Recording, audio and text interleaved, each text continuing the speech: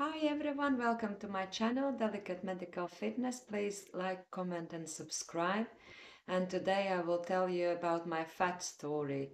So today we will talk about how I was big girl, what was wrong with me, all the different problems, my relationship with food.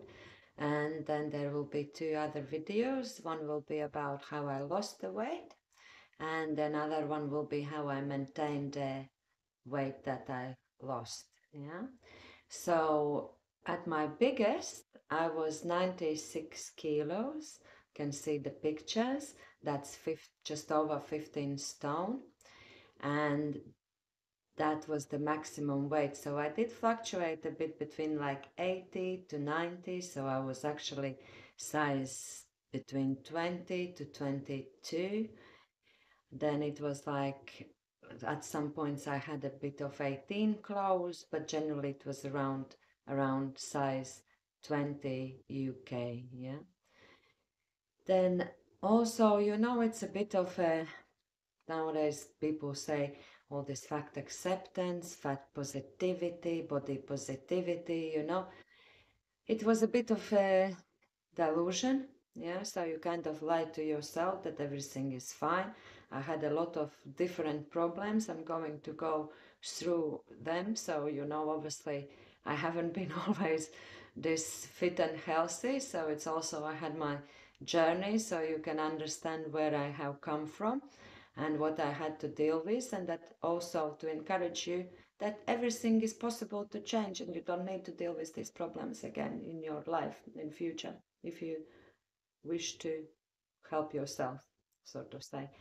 So at my when I was when I was fat as 96 kilos and even a bit lower, I had a lot of health problems. Yeah, so my I had a lot of indigestion and heartburn, so I was taking soda bicarbonate and all this omeprazole and ranitidine for the for the stomach, you know, because it was really really uncomfortable. Anything that I would eat, I would have heartburn and indigestion. So it's kind of, it repeats on you.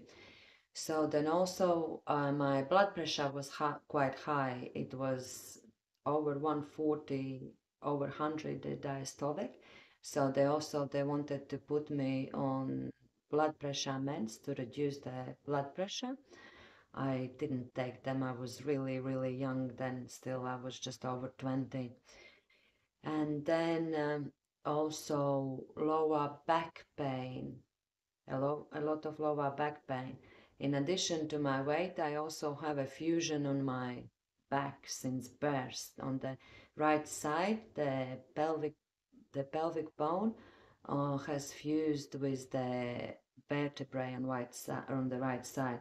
So it causing in a little bit of a disalignment in my back. Even my left leg is a little bit shorter and then with the extra weight that I had, I was just in constant pain with the back. Yeah, it even got to a point where I was waking up at night and couldn't sleep. The back pain was really keeping me up, awake, waking me up. It was quite, it, it was really disaster.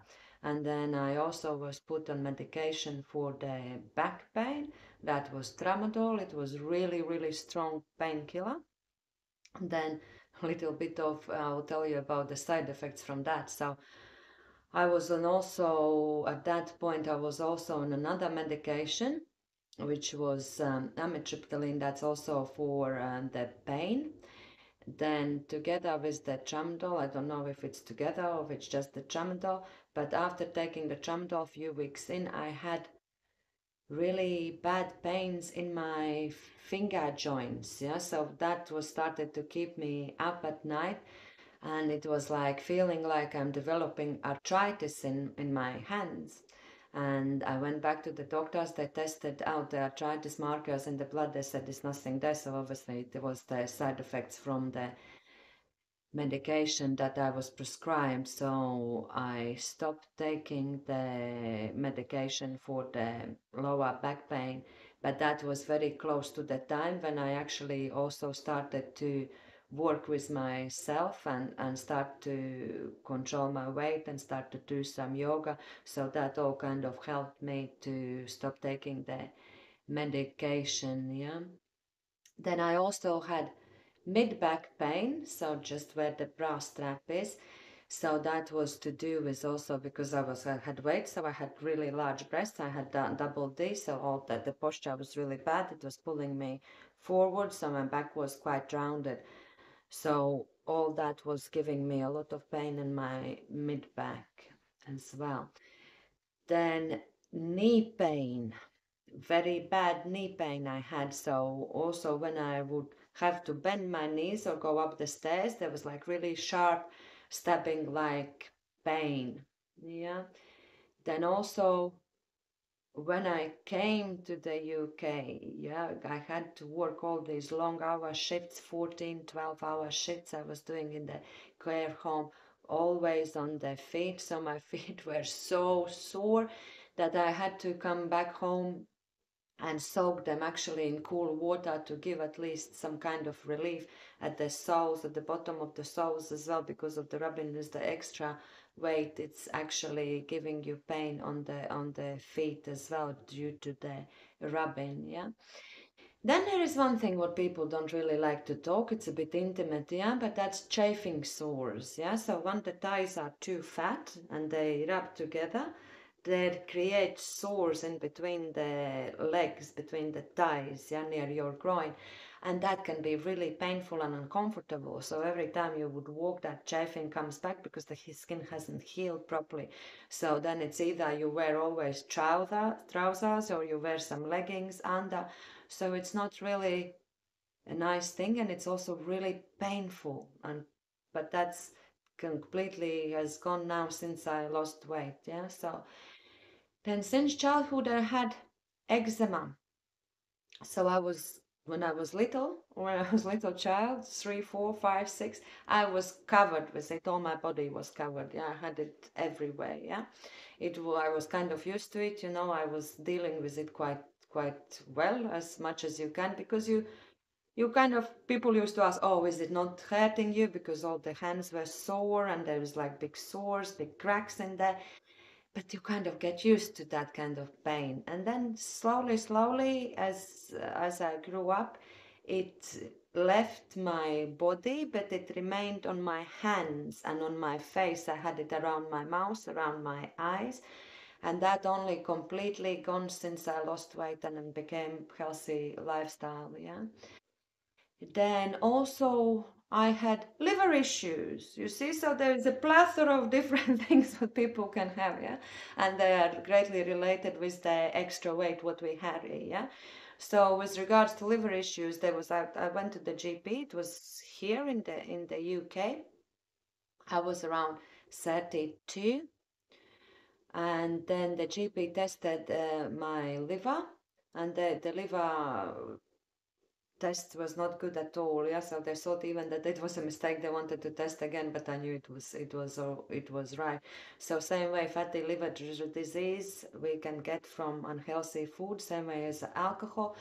When I was younger, I was also drinking quite a lot of alcohol. So I, now I don't drink at all. Yeah, so that has that obviously takes a bit of time to regenerate on the liver, but everything you know regenerates as long as there is not too much damage and the age also helped because I started my health journey when I was 30 yeah and now I'm 40 so I have been on on this journey for last 10 years now yeah. And then I also have PCSO so that's polycystic ovary syndrome. So when I was younger I had really irregular periods and infertility comes with the PCSOs and also weight gain. So it is harder to lose weight because of the with the of the imbalances with the hormones. And it's also harder to keep the weight off. But please you know don't be discouraged because you know any illness is made worse, so to say, with extra weight. So please be encouraged to lose weight to make your situation better as you understand what the condition does to you what are the effects if it's obviously if it's making you crave more food you know that that's the condition so you have better tools to manage yeah your diet and your healthy lifestyle so until a little bit about the history until i was like 17 i was normal weight. I also gone gym you know so my trainer also wanted me to do professional training but i wasn't ready for it. And then i started you know started to put on weight to really unhealthy measures. I will also be adding pictures as i said. And then the weight stayed up until i obviously took measures until i was 30 so i had a I was overweight for good 12 years. And all this, you know, when you climb, climb up the stairs and you're, you're breathless. I was like my grandmother, yeah, my grandparents, they live back home in Latvia, so they live on the fourth floor. There's no lift back home. So they go up and down every day, yeah. So my nan has some heart issues and stuff. She doesn't, she wasn't so much out of breath uh, as I was at age of just over 20. So that's something, you know, not, not quite right. But it's quite amazing how we live in denial. Yeah. So how we actually say, no, that it is okay, you know, that there's other health issues that is causing it, that it's not yourself. It's not quite like that. Yeah. So you know the relationship as well. You know the when I was growing up, there was times that you just couldn't get certain foods like meat was rare to get and you could only get it if you know somebody. It wasn't like readily available in the in the shops here you know when i was growing up chocolates wasn't a thing. So that was like only later when i was was a teenager all those fizzy drinks juices wasn't a thing. My my family used to make uh, different, you know, juices, you know, and jams themselves, you know, from from the garden that we had. And that was quite nice, but I never was into that kind of sweet stuff when I was when I was young. So that kind of helped me, but it just shows you that it is also the condition. But then when I came to the UK, that was a quite different thing. So I also retained the weight here and I also put a little bit more on because all of the availability of different chocolates, of different foods, different biscuits, chicken and chips, like we don't have no takeaways back home back in the days. Yeah, so there was when I was like a like teenager, there was one pizza shop in my town, and McDonald's was only in the capital city, so that wasn't something that is readily available. Whereas here, with all the plethora of different things, you obviously you want to try everything, and you haven't had it, so it's all new to you. So that also doesn't help with that everything is just so readily available, you know. I like to compare and uh, food addiction with drug addiction. Yes, so you see, like with drug addiction, that's easier because you don't need to consume the drugs once you have given up, uh, up that addiction. Yeah, whereas with food, you still have to eat. However, you have to choose the right way, right foods to actually consume. Yeah. So that's about the history and all the different problems that I had. So next next time I will talk about what made me lose the weight. So what made how I came to that kind of realization and when that happened and how I done it. So hope this helps somebody as well to inspire them. And I'll see you next week again. Hope you have a lovely week ahead. Take care. Bye.